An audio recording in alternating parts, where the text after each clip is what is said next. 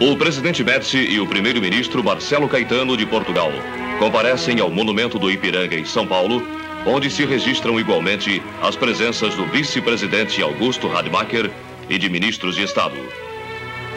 Do chanceler português Rui Patrício, do governador Laudo Natel, do senador Petrônio Portela e de outras altas autoridades.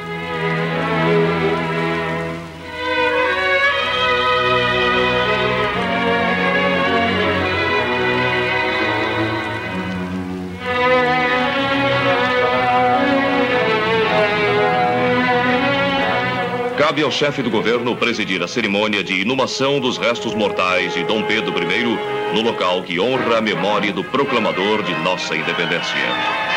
Depois de uma peregrinação que levou seus despojos a todos os quadrantes do Brasil, ele repousa finalmente na terra que ele fez livre há 150 anos, quando, num gesto, anteviu a grandeza da nova pátria. Pátria que se irmana a Portugal na recordação do feito heróico. De um palanque no Museu Assis Chateaubriand, na Avenida Paulista, o presidente da República, Dona Sila Médici, primeiro-ministro de Portugal, vice-presidente e governador do estado, assistem ao primeiro grande desfile militar da independência realizado em São Paulo, reunindo ao todo 18 mil homens de todas as regiões do país, sob a coordenação do general Humberto de Souza Melo, comandante do Segundo Exército.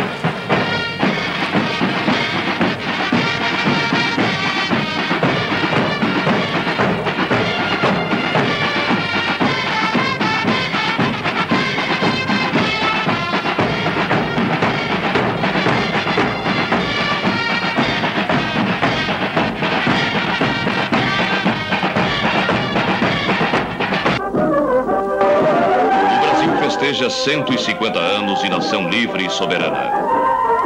Ao longo dos meses em que se concentraram as celebrações da iniciativa oficial, o país inteiro viveu o Sesc Centenário, acentua o presidente Médici, sem que se desviassem recursos substanciais dos nossos programas de desenvolvimento, sem excesso, sem desperdício, sem ostentação.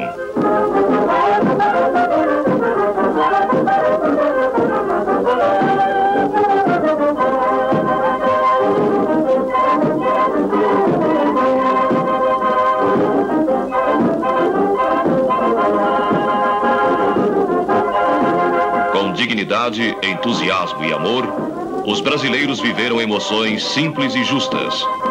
O abraço aos nossos irmãos portugueses. O recebimento e a peregrinação dos despojos do nosso primeiro imperador.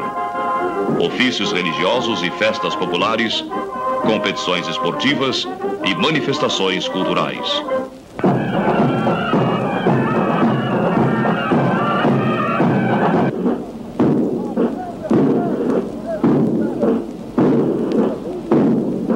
Nas ruas paulistanas, com garbo, afirma-se um povo que de 1964 para cá, mercê de experiência bem sucedida, tem construído seu modelo nacional de desenvolvimento, no qual se consubstancia o risco calculado da integração, transformando o Nordeste e procurando resolver o enigma da Amazônia buscando crescer também na sustentação de uma taxa maior de expansão da riqueza e na política de integração social.